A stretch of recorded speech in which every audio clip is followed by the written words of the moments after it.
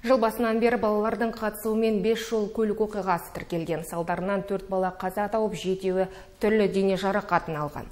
Осындай оқиғалардың алдын алу мақсатында бүгін мектеп оқушыларына жолда жүру ережелері түсіндірілді.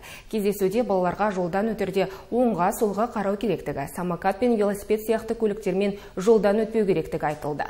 Құзырлылар түсіндіру жұмыстарын оқу жылының соңына дейін жалғастырмақшы мысалға мен білмейтін затым ол жолдан өткенде құлағымызға ә, капюшоны бар заттарды кимеу және де наушник тағу. Ә, мен ол затты білмедім бүгін соны білдім. Ә, бізге арнайы келген қонақтар өте көп заттарды үйретті.